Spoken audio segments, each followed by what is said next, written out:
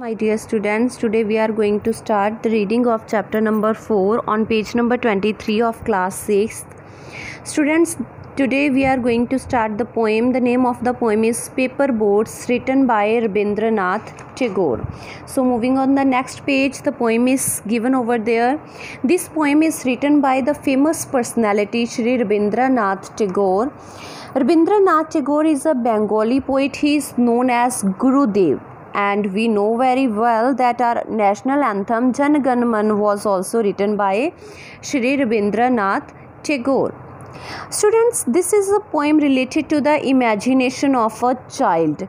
You must be playing several games in your childhood, right? So you must have your favorite pastime during the rainy season.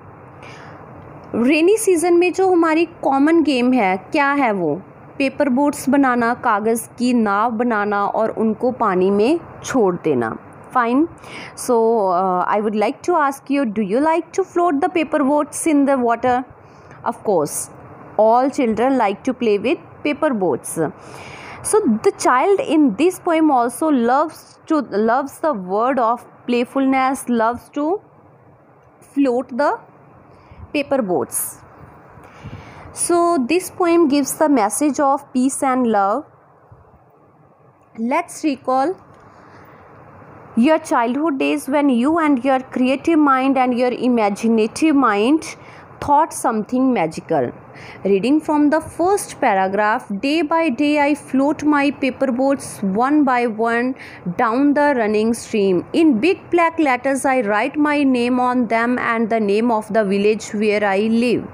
I hope that someone in some strange land will find them and know who I am students see how beautifully he is just explaining his imagination the poet is explaining the imagination of a child कि जो ये child है you can see in the picture daily the poet floats the paper boats in the running water by writing his name and the name of his village in big black letters He does this with the hope that someone in the strange land would find his boat and take them, and that person would come to know about the poet that who the poet is.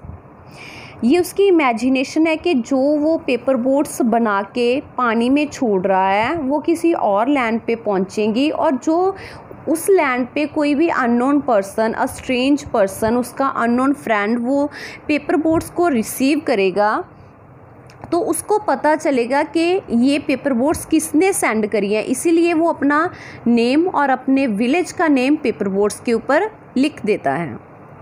C okay? So reading from the first stanza it is clear that uh, the simple rhythm scheme is used in this poem. There is no a b a b a b b c a b c d rhythm is used. It is simple sequence wise paragraph rhythm is used. Students so moving to the next stanza I load my little boats with shiuli flowers from our garden and hope that these blooms of the dawn, dawn will be carried safely to land in the night.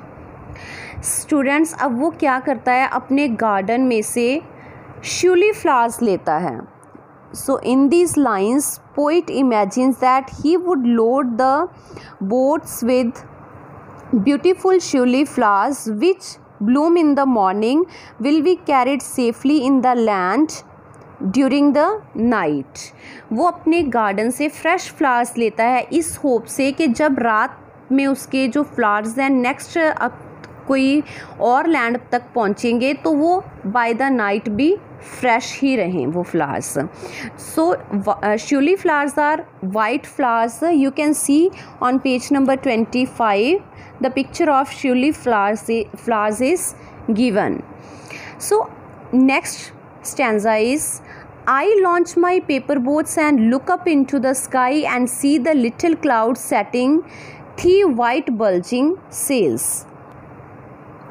In these lines, the poet, as a child, explains while floating the paper boats, the poet looks up in the sky.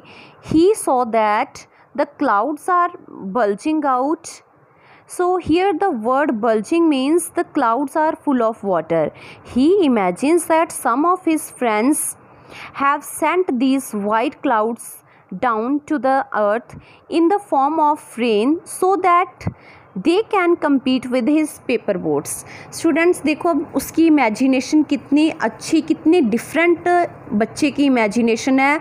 Now he looks up in the sky वो sky में देखता है white clouds हैं, और उसको लगता है कि ये जो वाइट क्लाउड्स है, उसके अननोन फ्रेंड ने सेंड किए हैं, ताकि वो वाइट क्लाउड्स उसकी पेपर बोर्ड्स के साथ compete करें, उसकी पेपर बोर्ड के साथ रेस लगाएं fine so moving to the last stanza When night comes, I bury my face in my arms and dream that my paper boats float on and on under the midnight stars. The fairies of sleep are sailing in them, and the lading is their baskets full of dreams. Students, in these lines, the poet explains that now it is the night time and the child is tired while lying on the bed. He comes he covers his face with his arms and again dreams about his paper boats he dreams that still his paper boats are sailing under the midnight stars. The child dreams that the fairies are sailing in his paper boats and these angels have baskets which are full of dreams. Students we know paper boats can't sail no long in water but the innocent mind of the child is you know thinking that from morning till night his paper boats are still floating in the water and he keeps on dreaming different ideas and different things last में जब poet वो child बहुत ज़्यादा थक जाता है। वो सोते टाइम ड्रीम्स भी अपनी पेपर बोर्ड्स के ले रहा है। ड्रीम्स ले रहा है कि जो उसकी पेपर बोर्ड्स जा रही हैं, उसकी पेपर बोर्ड्स के अंदर फेयरीज़ हैं, परियाँ हैं और जो परियाँ हैं, उनके पास बास्केट्स हैं जो कि सपनों से ड्रीम्स से भरी हुई हैं। Fine students so uh, this is a lovely poem. This is a beautiful poem and was written by Rabindranath Tagore. Students I hope you enjoyed enjoyed this poem. Thank you. Have a wonderful day